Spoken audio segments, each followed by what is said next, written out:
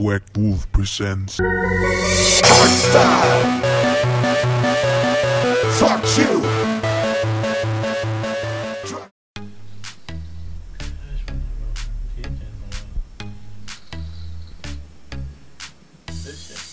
Zen.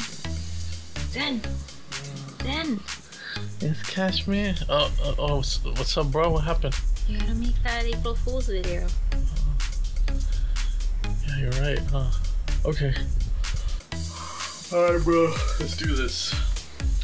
Beep beep. What's up, ninjas? My name is Zen World, and today I'm gonna teach you how to get signed to Spinnin' Records. I've personally done it, so today that's what we're gonna do. And if you notice, right now it doesn't look like I know what I'm talking about, but once I do this shit, it's over. Now I look fucking smart. So if you guys are ready, let's begin. Step number one, guys, is gonna be to make good fucking music. So you wanna free up 10 hours in your schedule where you're gonna be producing for 10 hours. You start with the melody and whatnot, and then, you know, two hours pass, and then you're gonna realize you fucking suck. So now we need to fool your friends into thinking you got signed to Spinnin' Records. So that's where we're gonna go because that's where the tutorial starts. Step number two, after you realize you fucking suck at producing and are probably never gonna make it, you're gonna want to get on Google and Google spinningrecords.png. This is how I make most of my cover arts. I get, you know, people's already PNG images which are transparent because I'm too fucking lazy to do it myself.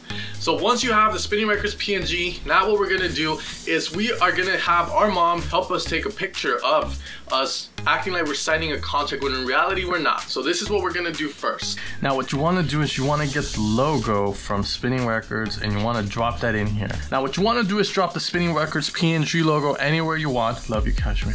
And we're gonna put this to the corner like so. Once we have that, you know, we're gonna go down here, and this is where the magic is really gonna happen. You're gonna start writing a bunch of bullshit, so we gotta go to the center first and put some something there. Uh, you guys all six? Yeah, we go. Let's do it. Let's do it. Let's do it. Let's do it. Let's do it. Let's do it. Ma! Mamá! Hey, uh, uh, tomar una foto signando un contrato. No, ¿por qué? Vamos. Uh, oh. Come on.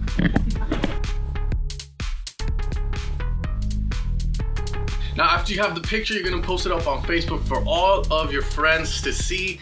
They're gonna think you legitimately got signed, and this is where you can let them know, Simple Fools, bro. But if you wanna take it a step further, you can actually play this out for the long run. Since Spinnin' Records is always releasing trash music every day, it takes quite a while to get a release. So, what you could say is that the release is gonna happen maybe four to eight months from the time of April 1st, and then they will probably have forgotten it by then. Everyone's gonna see you as this badass guy that got signed to Spinnin' for the first couple of months, and then it's gonna die out. But hey, at least you got your 15 minutes of fame, right? Feel my energy.